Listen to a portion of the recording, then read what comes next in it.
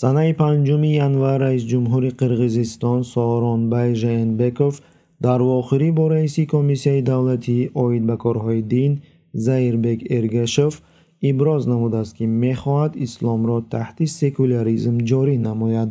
Ба ақидаи раисҷумҳур сиёсати давлат дар соҳаи дин бояд бар асосҳои давлати дунявӣ такя намуда бурда шавад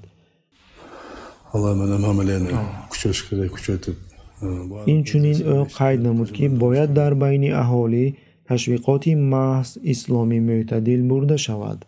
Бояд корҳои оид ба бардоштани маърифати аҳолӣ дар соҳаи дин пурзӯр гардонида шавад. Иҷрошавии барномаи ягонаи таҳсилот дар мадрасаҳо ва дигар муассисаҳои таҳсилотӣ сахт назорат карда шавад.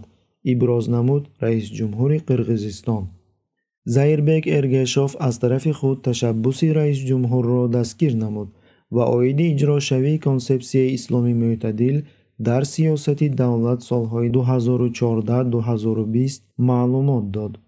Айни замон оиди такмилдиҳии заминаи қонунгузорӣ барои танзимдарории соҳаи дин дар кишвар корҳо бурда мешаванд. Иброз намуд ӯ. Радикализм жана экстремизм менен курашүү мутахассисон қайд мекунанд ки исломи мӯътадиле ки аз тарафи режимҳои секуляристии осиёи марказӣ маҷбуран талқиншуда истода дини қалбакӣ буда барои фоидаи вазъи сиёсати имрӯза ва барои манфиати ин ё он диктатор асту аз фаҳмиши аслии ислом ки мардуми ин минтақа ҳазорсолаҳо ба он соҳибанд хеле дур мебошад